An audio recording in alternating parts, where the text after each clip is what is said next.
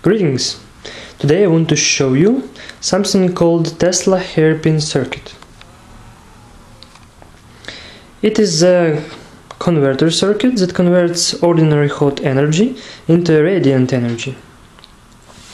We are capable of producing several interesting effects on this circuit. The first effect is um, that the load or the ordinary 12 volts light bulb can be powered with the condition of a short circuit. The second effect is that um, the energy above capacitors are totally harmless and we can hold the both uh, power wires of the lamp and nothing and uh, nothing will happen the third effect is that the light bulb can be placed in water and this is not causing the shortage of circuits.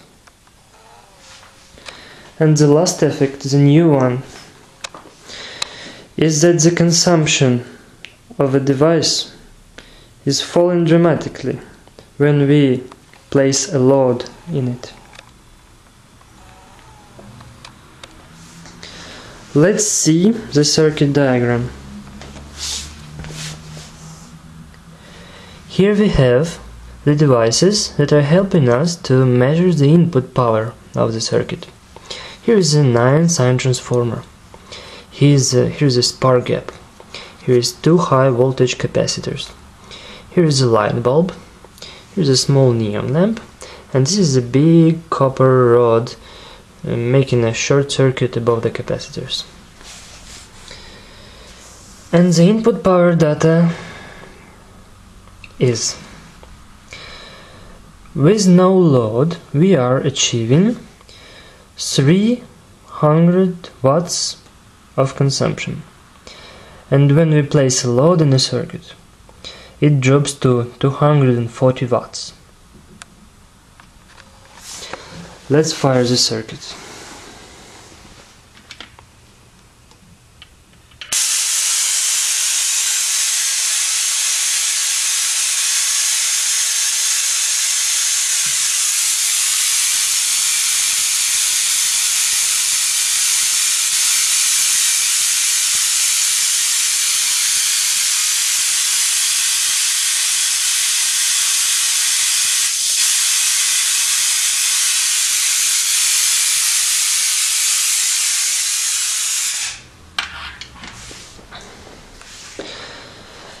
Okay, this is it. Thank you for watching.